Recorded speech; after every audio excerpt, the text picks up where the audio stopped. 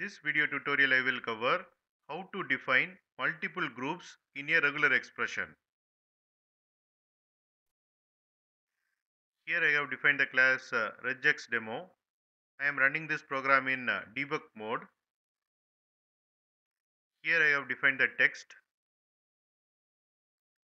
Here I have defined uh, regular expression and uh, this one is uh, group 1 and uh, group 1 has word John and uh, this part is uh, group 2 group 2 is uh, any word followed by john. The word john followed by any word i am going to search in this text.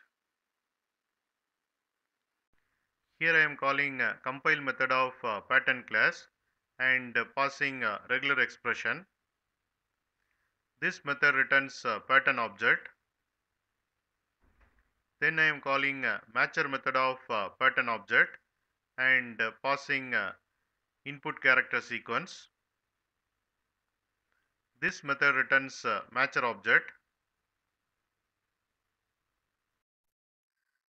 This while loop I am searching the word John followed by any word in this uh, text. And here we got the output.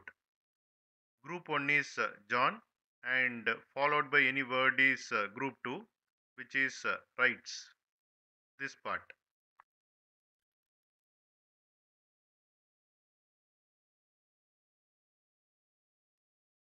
Group 1 is John and followed by any word is uh, Doe.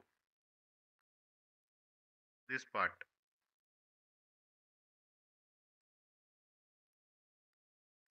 Group 1 is uh, John and uh, followed by any word is uh, Wayne. This part.